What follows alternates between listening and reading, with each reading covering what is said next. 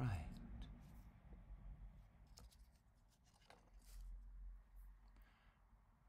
Hello, I'm Gordon and I'm your museum artist for this session. And in this session, we'd like to invite you to make a fingerful of fossils. Or maybe not fossils so much as the animals that used to live here, the animals that were living in the ancient seas that gave us the limestone that Buxton is built on and built of in many places. Our limestone comes from a time a time before dinosaurs, before pteranodons and tyrannosauruses, before giant marine reptiles. Our limestone was made about 300 million years ago in shallow tropical seas, and there there were animals like ammonites and trilobites and crinoids. They were ancient prehistoric sharks, and we'll look at making some of the sharks on another session. But in this session, well, let's start with a trilobite as an example. I just need a scrap bit of card, a pencil, a pen for colouring in, some scissors for cutting out, and a stapler. And to do this, I fold my card in half, do a quick drawing of half a trilobite. There we go. I'm going to do this one very quickly. Cut him out, or her. We're not quite sure how you work out the gender of a trilobite. I'll hang on to that card and use it in a minute. Open my trilobite up. Here we go.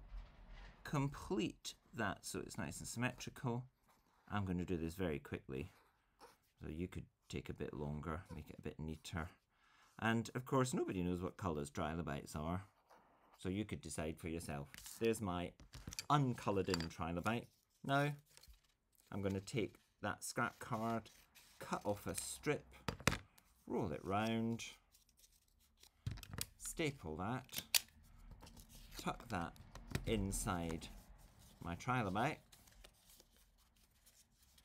and I'm going to staple him, her, or it like that so it keeps it a little bit folded. Tuck a finger down there and send a trilobite for a walk. Of course, if you made a few, you could have some fingers full of trilobites that could go running about the house. You could take them for a walk. Take them into the garden, perhaps, if you have a garden, and you could fill them, film them exploring under the flower beds. If you haven't got a garden, you could always have them crawling across the ocean bed of your bed. You could have them scaling the coral reefs of the cushions. You could lose them in the dense jungles of the bookcase. Finger puppet trilobite could go almost anywhere and tell almost any story you wanted them to.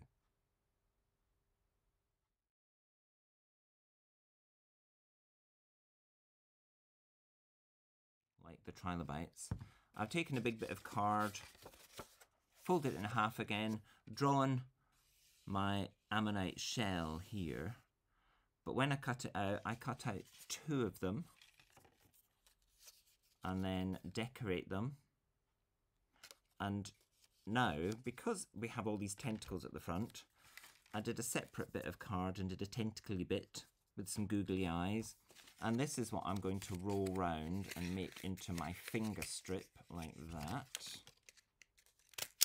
Quick staple. Get rid of the extra card. And then I'm going to build my ammonite around that. Now, I've got to make sure he's coming out the right way. That. that. does that. Oh, we're falling all over the place just now. There we go. So let's staple that in there. One, two, I'm going to put another one up there. Look at this, I've lost an eyeball, so I'm just going to trim that out the way a bit. Tuck my fingers in, and there we have a finger puppet ammonite. I might want a bit more excitement there. So I did have two. I've lost one of them. There it is. I've made two longer tentacles and I'm going to make these curl by curling them over the edge of a pair of scissors. And then I'm going to tuck those in there and a quick staple to hold them in place. You could always use glue if you wanted something without staples sticking out all over the place. And there we have ammonite and trilobite. So I'm not quite sure how they'd get on. What they'd definitely both be wary of are the Eurypterids. So here is something a bit bigger. Sea scorpions, they were called. Some of them came in at two or three meters long. And if a Eurypterid went swimming across the seabed, you can be fairly sure any trilobite would go scuttling for shelter. And any ammonite would pull back into that nice tough shell. And this big chap I've made exactly the same way as the trilobite. I've put on some claws at the front from extra card. I'm going to see if I can reach my stapler right in there without everything falling to bits, which it's doing at the moment. There's one side, let's staple the other side. So my fingers can go in there and we have Eurypterid and Trilobite.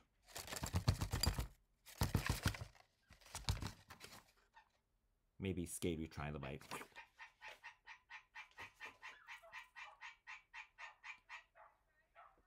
And we'll leave you there with fingerfuls of fossils to play with. Please, have a good time. Please, enjoy yourself. Please, send us a copy, a photo perhaps, of anything that you make. Bye for now.